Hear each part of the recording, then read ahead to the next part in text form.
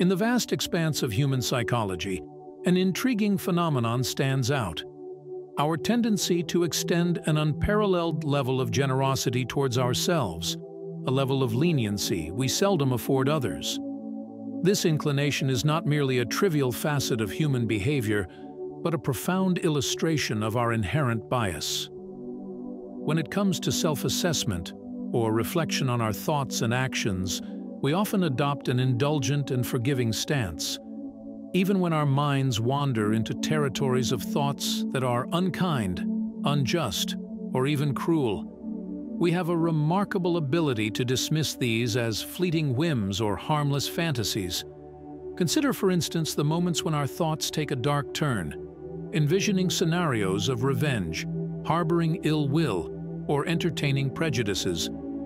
In these instances, there is a tendency to rationalize or diminish the severity of such thoughts. We reassure ourselves that these are not reflections of our true selves but mere abstractions, momentary lapses that do not define us. This self-justification is a comforting narrative, one that allows us to maintain a positive self-image in the face of morally ambiguous internal dialogues. This leniency towards ourselves becomes starkly apparent when contrasted with how we judge others. Should another person momentarily entertain a similar thought, our reaction is often disproportionately critical. We are quick to label it as a revelation of their true character, a window into their soul that exposes deep-seated malevolence or moral bankruptcy. This discrepancy in judgment reveals a fundamental asymmetry in human empathy and understanding. While we navigate our own moral landscapes with grace and forgiveness, we apply a much stricter standard to others, often leaping to conclusions based on a fraction of evidence. This behavior is not without its consequences. It fosters a dual standard that undermines interpersonal relationships and societal cohesion.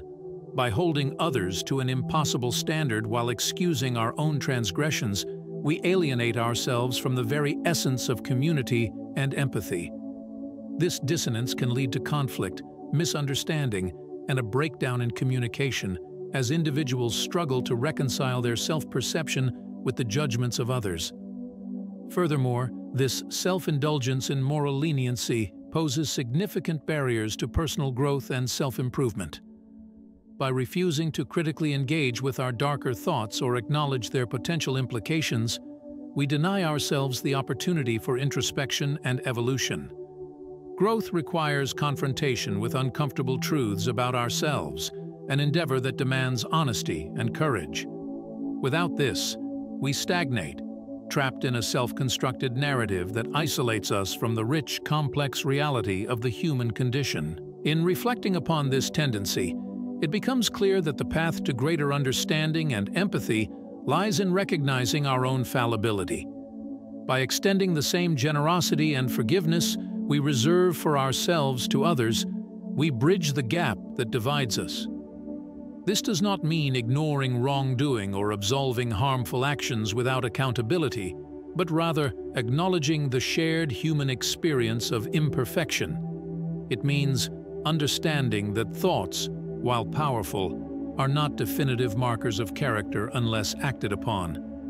Embracing this perspective can transform how we interact with the world around us. It fosters a culture of empathy, understanding, and genuine connection, qualities desperately needed in an increasingly fragmented society. By acknowledging our shared humanity, we pave the way for a more compassionate, understanding world, one where we recognize the complexity of the human psyche and extend the hand of forgiveness not only to ourselves but to each other.